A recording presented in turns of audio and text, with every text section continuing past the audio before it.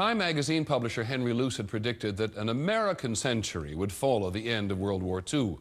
And by 1946, the world was beginning to witness it. While the map of devastated Europe was redrawn at conferences in Yalta and Potsdam, across the Atlantic, America had emerged from the conflict stronger and more prosperous than ever before.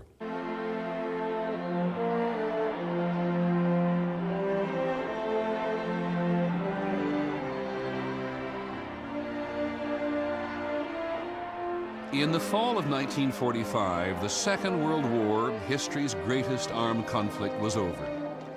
America's sons and husbands and fathers were coming home.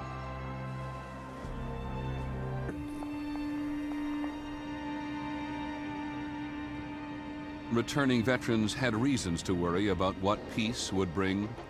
Factories that had worked around the clock during the war now had few jobs to offer. All the GIs were coming home. There were no jobs. And I found a job for a dollar an hour um, uh, refinishing damaged refrigerators from freight yards. Dirty, lousy job. But I took it. Even before the war ended, the government realized that the transition to civilian life would be difficult. In 1944, Congress passed the GI Bill of Rights. It guaranteed vets low-cost mortgages and higher education. Think of what that would mean. Fantastic. People go to medical school, dental school, do anything they wanted, uh, paid for by the government. It paid me to study the history of English poetry at Harvard, of all things, just the way it paid somebody else to study a very practical and utilitarian subject in South Dakota. It was absolutely democratic and indiscriminate in the highest sense. Veterans would, after a brief lull, be swept into an American economy rich in unprecedented productivity and opportunity. We were the arsenal of democracy. All you had to do was throw a switch and go from producing uh, tanks and airplanes and jeeps to cars and refrigerators. By 47, 48, the economy was zooming. The driving force behind the booming economy was the American consumer there hadn't been much to buy during the war. Americans had built up their savings and now they were ready to spend. We had gathered this phenomenal strength that we didn't know we had, and we were living twice as well. Everybody was. Wages, productivity, everything had just increased in a way that no one had ever experienced. The newly vibrant economy and the need for veterans housing would inspire one entrepreneur to transform thousands of acres of New York potato fields into a new kind of American community. We believe that every family in the United States is entitled to decent shelter. Navy veteran Bill Levitt imagined thousands of homes here, and he devised a way to build them fast. Levitt's genius is that he understands that you bring the assembly line to the location, that you flatten the potato field, you mark it off, and in come the teams slab men, tile men, window men, painting guys. Uh, they could do, I think, uh, 18 houses in the morning, 18 in the afternoon, 180 a week, and $8,000. You could buy a great house it was an amazing thing, and for the first time, you had this whole society moving into the middle class. The Levitt approach spread across the country, making life in the suburbs affordable for millions. We got our first house, very small, 700 square foot, but we were thrilled with it. Two bedroom, one bath home. Good night. It was wonderful.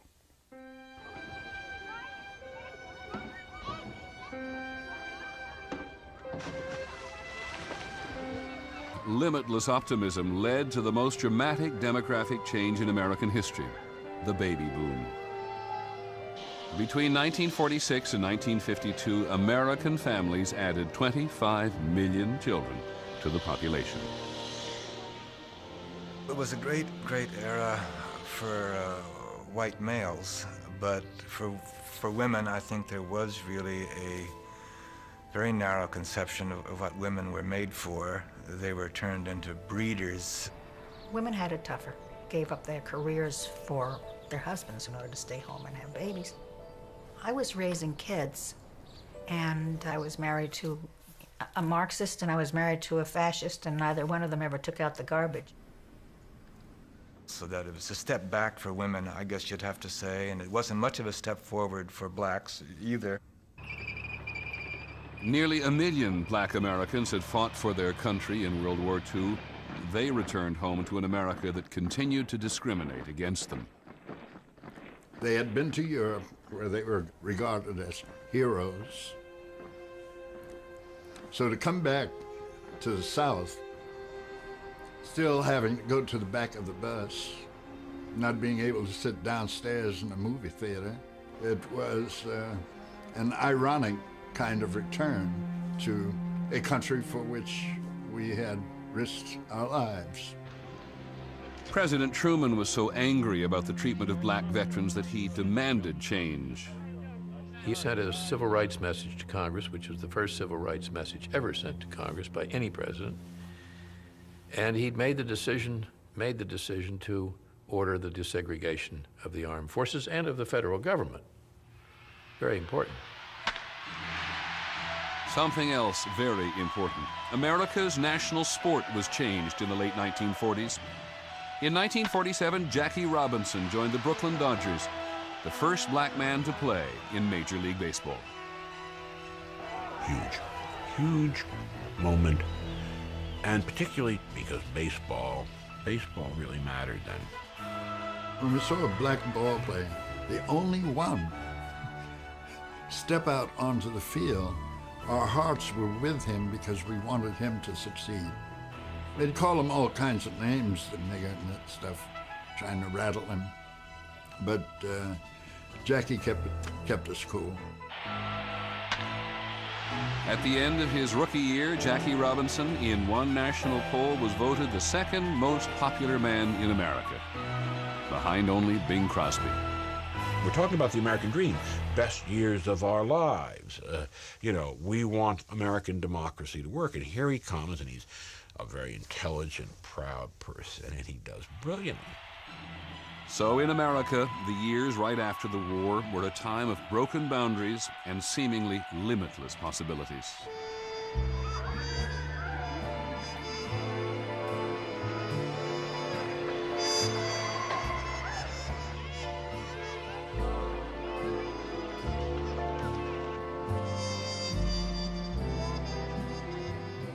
I think the period from 1946 till the early 50s was the greatest time uh, ever. It was like this country was being reborn in many ways. So many new developments were coming along. We felt pretty good about the good old USA. And although there were things happening all over the world that were threatening, we were, after all, number one.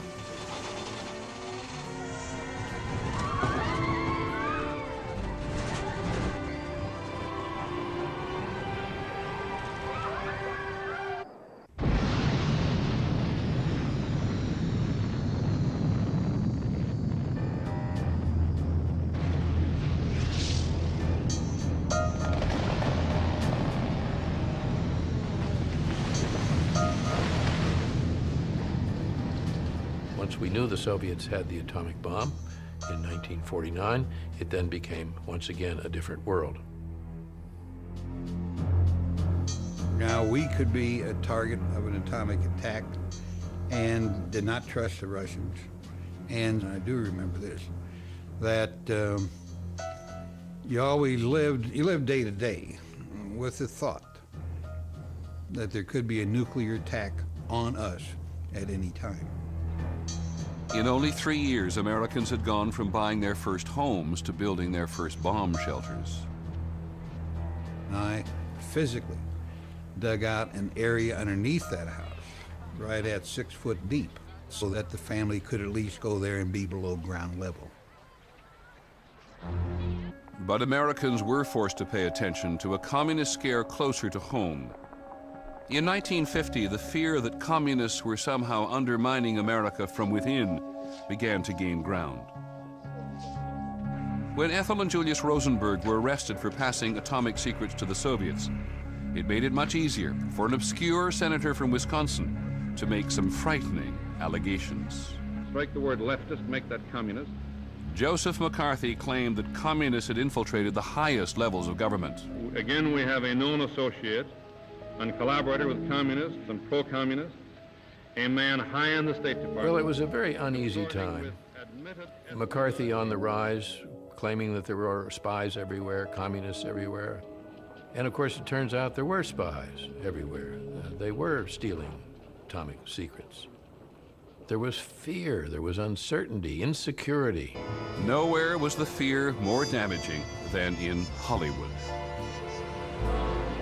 This dream factory coming under the influence of communist agents. The House Committee on Un-American Activities had a target.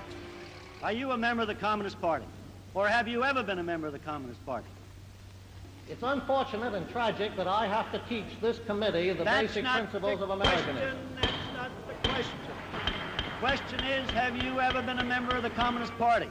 I am framing my answer in the only way in which... Stand away I from the written stand. For, for Americanism for many years, and I shall Stand away from the stand. for the Bill of Rights, which you are not- Hundreds of witnesses were called to testify on communist influence in Hollywood. They were asked not only to account for their own political activities, but to inform on their friends. There will be no demonstrations. It was scary. It was very, very scary. And I was 19, and I took the fifth in front of the committee.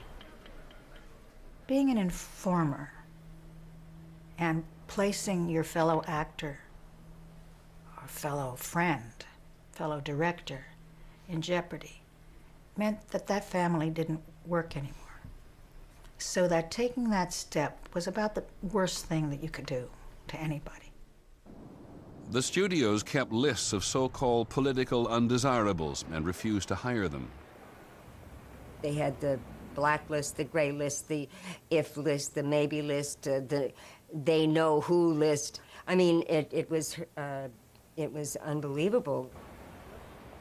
At the height of the Red Scare, a rumor on the streets or a mention in the gossip columns could close down a career. Lives were ruined. People were driven to suicide. People were driven out of the country. Uh, I think the results in this town were really devastating. Lee Grant won an Oscar nomination in 1951, but then after speaking out at a funeral of a friend who she said had been hounded, she was blacklisted. I mean, I, I remember, you know, like the, the floor just rushing out from under me and my heart going down. It's like, that's it. You know, that's it. Ms. Grant didn't work in Hollywood again for 14 years. Army veteran Carl Reiner was working on Broadway. Somebody actually came to my house, an FBI guy, and said, "Do you know if there are any communists in the in show business?" And I said, "Oh, there must be. There must be lots of them because they're all over the place." Do you know who they are? No. I said, You guys, FBI, you find them. You know, I, I don't know who they are. They're not going to tell me. I mean, I was being funny, but I was also scared shitless. I am not a communist and never have been a communist. Between 1947 and 1952, the loyalty of three million Americans was investigated by the FBI. I am not and never have been a communist. People from all walks of life were called before congressional committees. Baseball heroes, union leaders, school teachers, diplomats.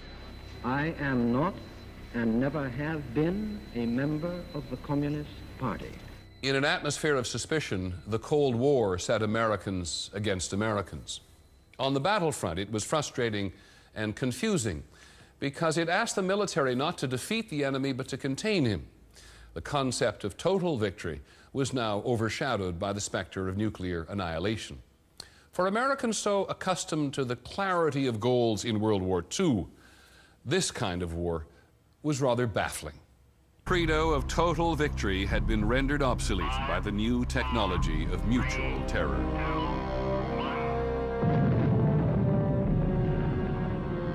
Total victory now might mean total annihilation. In November of 1952, America tested the hydrogen bomb, 1,000 times more powerful than the atom bomb dropped on Hiroshima. To develop the hydrogen bomb, scientists created a new and highly advanced calculator. They named it the Mathematical Analyzer, Numerical Integrator, and Computer. They called it by its acronym, MANIAC.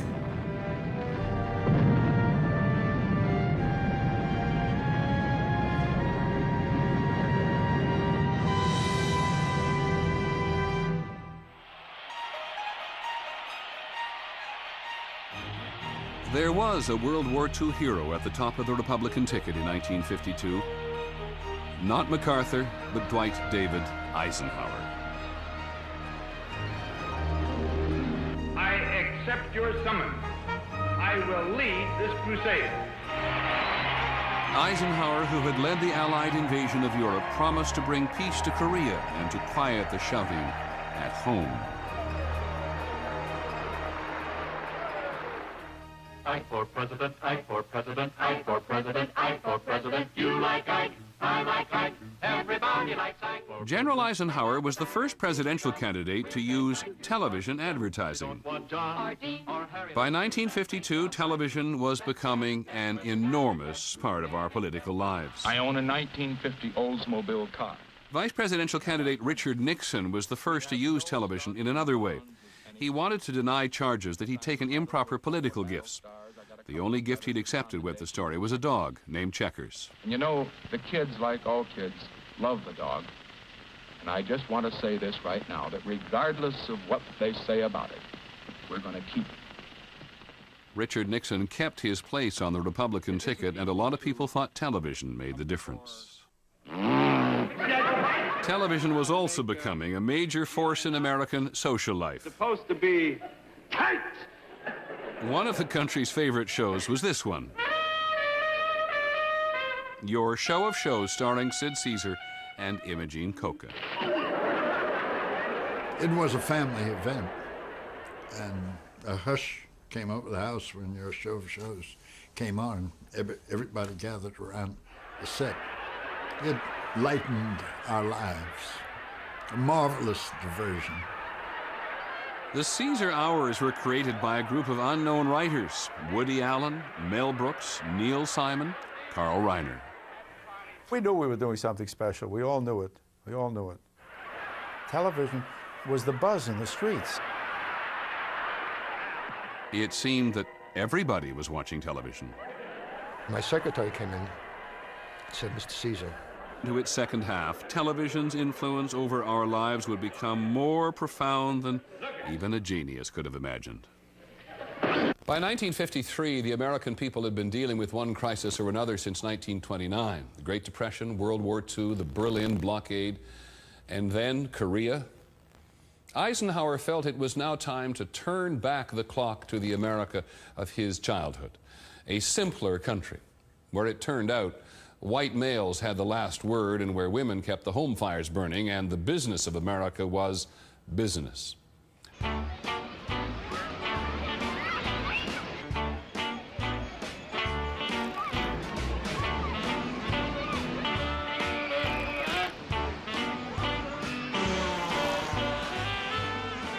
By late 1953, the economic boom that had arrived after the Second World War had already transformed the country.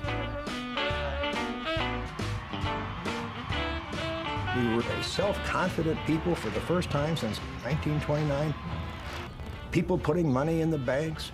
The real wages were going up 4.5% a year. It's just incredible to think about that now. America in the 1950s was very rapidly becoming a consumer society. People were buying more and selling more than ever before in history. For the first time, more Americans were doing white collar work than manual labor. Advertising, marketing, and public relations were now the preferred. In the shadow of the Cold War, it seemed almost patriotic to be part of the American economic miracle, to be a member of a corporate team and follow its rules. When I became a salesman, like the man with the gray flannel suit, I was told where to buy my clothes. It might not have been a gray flannel suit, but it better be a blue one. And there was a lot of choices of colored shirts as long as they were white. you called attention to yourself if you deviated from the norm, and nobody did. Nobody did. We all looked the same. And when they advertised for secretaries, they specified good looking. It was not a good time for women in the workplace. It's Lawrence, this is Mr. Rath. Miss Lawrence will be your secretary. How do you do, Miss Lawrence? Very glad to meet you, Mr. Rath. We always give a new man the prettiest secretary. There were no female managers. None. Uh, it wasn't even considered.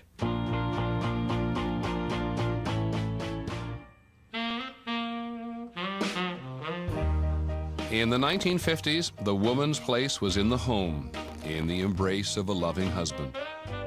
By 1957, 97% of all marriageable men and women were married. And if they cared to have a social life, they stayed that way. It was a couples society. We did things in couples, barbecues, and it's always couples.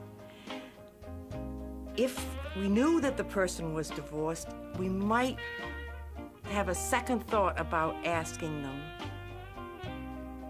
The thing was to be married and keep the home together.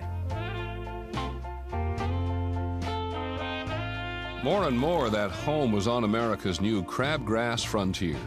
In an era that favored conformity, it was perhaps no surprise that by the end of the decade, a quarter of the population lived in the tract homes of the modern suburb.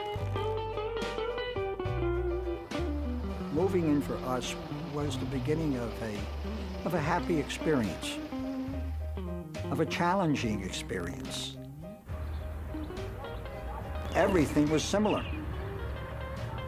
One of my friends was Ruby. My phone rings and he says to me, Hal, I have a problem. I said, what's the matter? He said, I can't find my house. It seemed kind of remote and bleak if you look at them from the air. But in those little cookie cutter, the emotional core of the early 1950s was all about stability. Both my parents had experienced the Depression, both my parents had experienced the war. I know that they looked upon their little house in Lakewood as a refuge from many of the things that had troubled their, their early lives. Getting better for a lot of American families. Propelled by the powerful economy, they were stepping into the middle class at a rate of more than a million a year.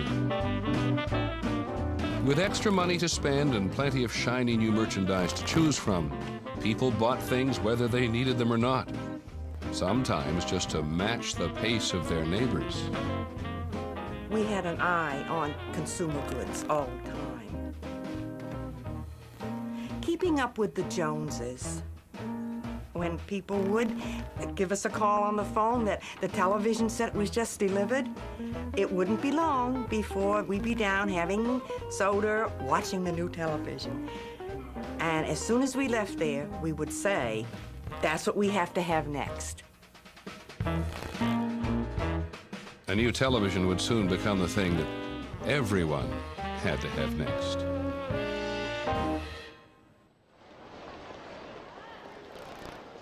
It was in the early 1950s that one of America's most intense love affairs blossomed most brightly. We plug this thing in and turn on this box, and there are people there. Well, I want to tell you, we did not move for days. You sat in front of that set even when there was nothing on but the test pattern. You thought you can't tell. They're liable to put on something right now. Television sets were rapidly becoming affordable for the average consumer, and as they did, the demand for new programming became overwhelming. That's right, boys and girls. Most television programs aired live with all the flaws of a live performance. Yet even with mistakes, most viewers loved the tube. The television business was a sandbox where you could go in with almost any idea and you have a chance to do it. It was an amazing period of time. Radio, long the staple of family entertainment, was virtually abandoned. Nimble talents like Milton Berle and the famous newscaster Edward R. Murrow made the transition to the new medium. It brought us news, it brought us dramas, It had become a, uh, an integral part of our life. And it wouldn't be unusual for, for your doctor to say, I'll see you at 7 o'clock on Tuesday, and you would say, I am very sorry. I Love Lucy is on. I have to see I Love Lucy. By the mid 1950s, only a few years after their commercial introduction, television sets were in three quarters of American homes. People now spent a third of their waking hours in the glow of the box. Lured by entertainment, they became a captive audience for the salesman.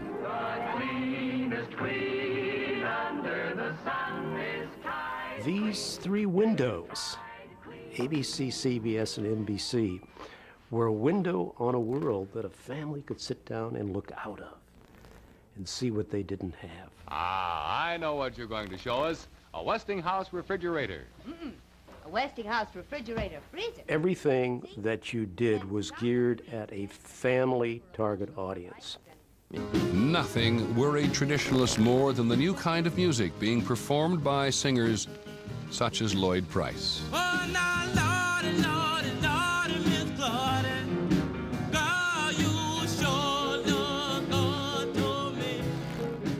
Well, it was really race music. Uh, we had maybe two radio stations in New Orleans that played that music. It had no name to it. It was just music. Ready, set, go, man, go. I got a gal that I love so By 1955, the music did have a name rock and roll, and young people everywhere were listening to it. Wisconsin native Marty Rosenblum was then 15 years old. I got my own portable radio, and at night I could pick up all the southern stations, and I heard Little Richard for the first time. And my whole world changed. Everything changed. I would call WAPL in Appleton, Wisconsin, and ask them to play Little Richard, and they said that the station manager wouldn't allow Little Richard on the radio because his was the devil's music. So I knew he was good. It was a much more infectious uh, kind of music than we'd ever heard before. Uh, and it had an edge. There were suggestive things in it, and you know, it was kind of risque, uh, and the parents were saying, This is going to ruin our kids. Their concern was that their daughters and even their sons was falling in love with black people. Sam Phillips was the owner of Sun Records, a southern music label. You know what my answer was from day one was I truly can look you straight in the eye and tell you they're not falling in love with black or white or green or yellow. They're falling in love with the vitality of the music. And it wasn't long before white musicians like Bill Haley and his Comets were making the charts with rock hits of their own. But the music was still waiting for its first superstar. And in 1956, he arrived. I was in this little soda shop, and on came this song, and this guy started singing, and there was like stillness. And then everybody started dancing, and this like wave of energy came over the place, and I said, my God, this is wonderful. I turned around to the girl next to me and I said, who was that? And she looked at me as if I was like from another planet. And she said just one word. She said, Elvis.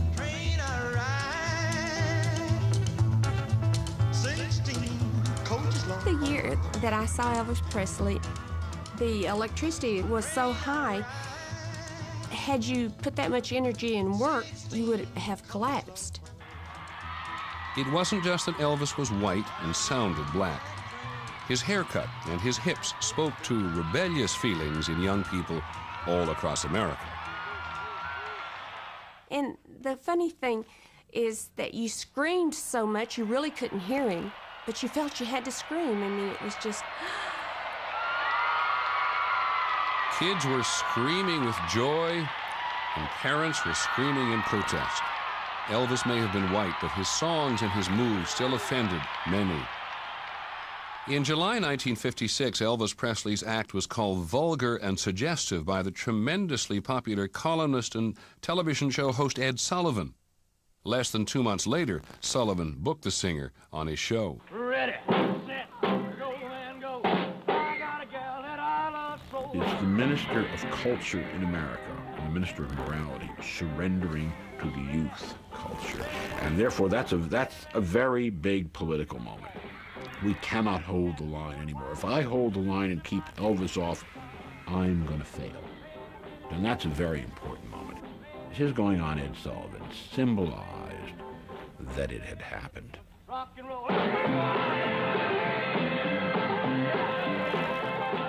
Rock and roll was here to stay.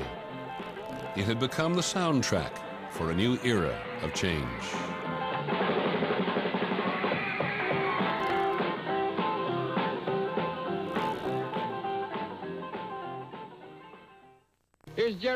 Jerry Lee Lewis, Great Balls of Fire. You shake my nerves and you rattle my brain. In 1957, a television program called American Bandstand went national on the ABC network. The show's target audience quickly demonstrated its newfound power by turning Bandstand and its host, Dick Clark, into overnight icons. Every kid watched. There was a story about once a police chief was afraid a rumble was going to happen, a street fight, because no kids were around. And they conducted a door-to-door search and they found all the kids were watching the bandstand. I remember feeling this tremendous feeling of confirmation that I belong to a group of people called Teenager, and we have our own music.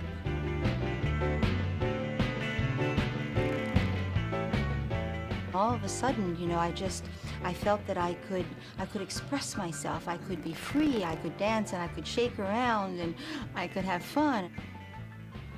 There was no stopping us, you know? the parents didn't have a chance. What must a poet look like? Should he have long... Another way that the young were breaking away was through their use of language. The beat movement thrived in the coffee houses of New York's Greenwich Village. As the wiper squeaked in time on the glass, like angry reptiles running from an enemy. The village has a life and language all its own. If you dig it, you're hip. If you don't, man, you're square.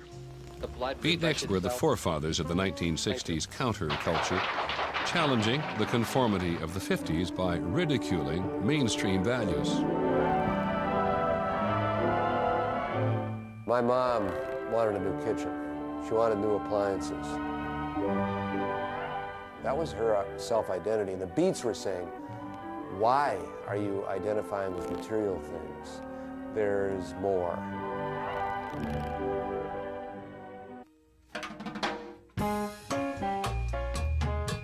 By the late 1950s, driven by the powerful economy, the American people's long running fascination with automobiles was changing the very fabric of the country. The car came to be the dominant symbol of American life and had an impact on American life that is difficult to exaggerate. Americans were now confronted with a dazzling array of choices on the showroom floors. So many that for the first time, people began to view cars the same way that they once viewed clothes or hairdos, as an emblem of their personality. Ford Thunderbird. Even the name had a ring to it. A yellow station wagon. A station wagon provides room in the back to carry the lawnmower that's broken. My boyfriend drove a Chevrolet, and I thought, that's the prettiest car I've ever seen in my life. I felt like a queen in that car. General Motors had a budget the size of Poland's. Nationwide, every seventh job was related to the automobile industry. The term drive-in became a part of a language. There was a national hotel chain created entirely for road travelers, and a restaurant that spoke exclusively to a newly mobile country.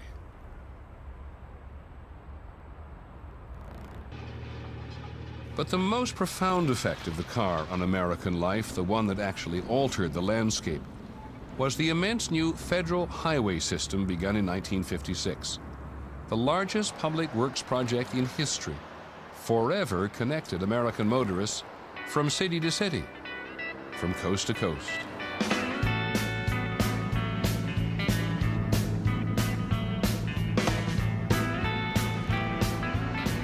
We used to study those maps, which would show you proposed interstate highway, interstate highway under construction, and then the payoff, completed and open.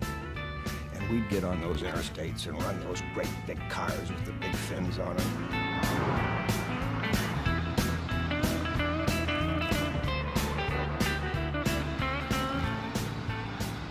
It was just wonderful. Just opened up the whole world to us.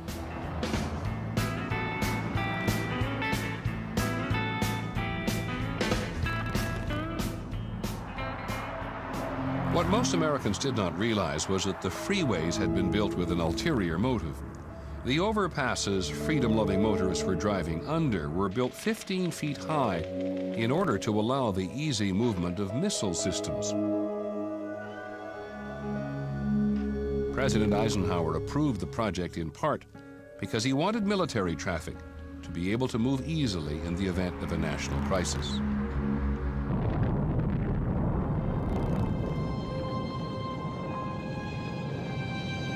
It had taken the Soviets four years to duplicate the American success with the atomic bomb. It took only eight months for them to do the same with the hydrogen bomb.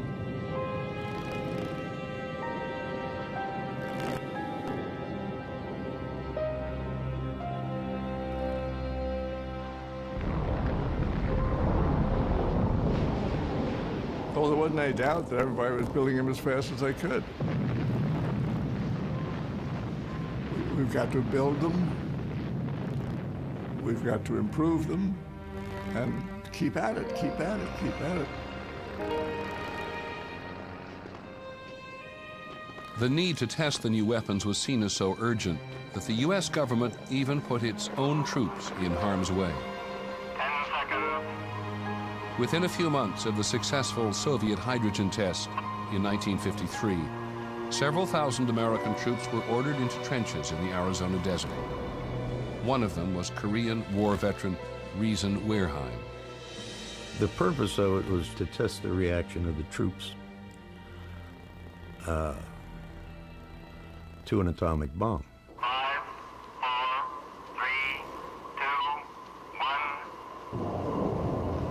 That shot went off. You see this real bright light. With your hands over your eyes, you can see the bones in your hands. And there's this god-awful noise. It just feels like it's compressing your head. It's so loud. There's a feeling like you're in a vacuum cleaner, like your whole body's been vacuumed.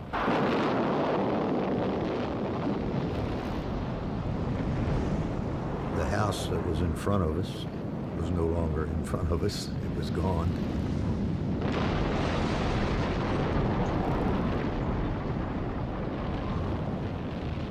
Of the 2,584 men that were there, there's only three of us still alive. How many Americans were affected altogether can never be fully determined. The fallout from this explosion, known as Shot Simon, reached as far away as New Jersey, among the dirtiest of the 200 above-ground nuclear tests that took place between 1954 and 1958. The same frenzied pace of experimentation was applied to the rocket program. Both superpowers saw them as crucial for the delivery of powerful nuclear payloads. American scientists were not always having much luck.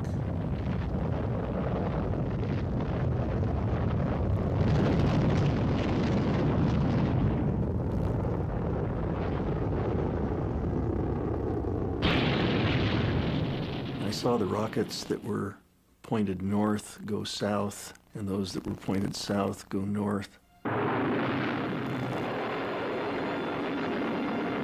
saw one go straight up in the air and explode. I saw one go straight up and come straight back down again. But never during those 100 launches did I see anything go right.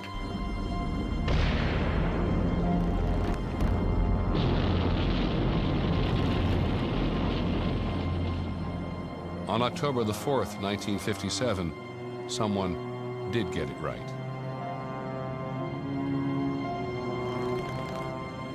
We say, attention, all radio stations of the Soviet Union are broadcasting.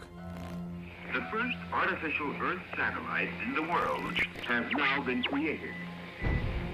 This first satellite was today successfully launched in the This beep, beep, beep, beep, what is it? Sputnik. Sputnik is around the globe. Who did it? We did it.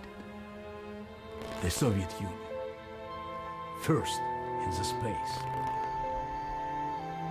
And I can remember going out to my backyard one night, looking up at this bright streak going across the sky, and I felt a sudden sinking feeling, one of almost terror.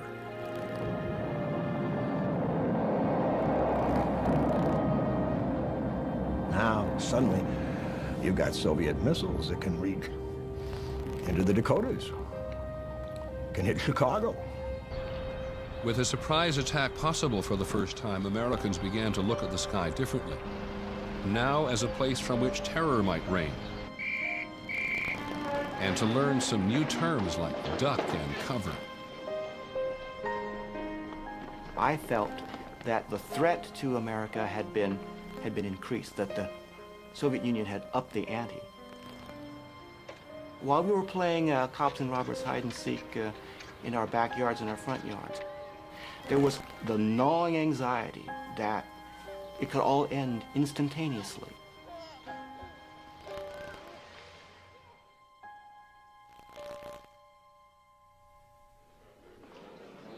July 25th, 1959, at a U.S. exhibition in Moscow, Soviet Premier Khrushchev and American Vice President Nixon discussed the relative merits of communism and capitalism. There are some instances where you may be ahead of us. For example, in the development of your of the thrust of your rockets for the investigation. Both of them was built from the same material. They were tough and they want to show each other that their society is better. There may be some instances, for example, color television, where we're ahead of you. But in What order became known as the kitchen debate seemed to demonstrate America's new insecurity in the world. Sputnik had been a technological Pearl Harbor.